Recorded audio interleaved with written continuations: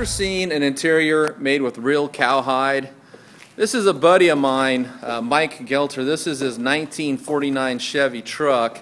And here's one of the things besides being super cool that really sets it apart, and that's the real cowhide interior. That's right, we're talking moo cow. This is a cow, real cow interior. Not only is it on the door panels, it's on the seat, it's on the console, the other door panel. Gives it that real kind of country farm flair. But there you go, a real cow interior on a 1949 Chevy five window truck.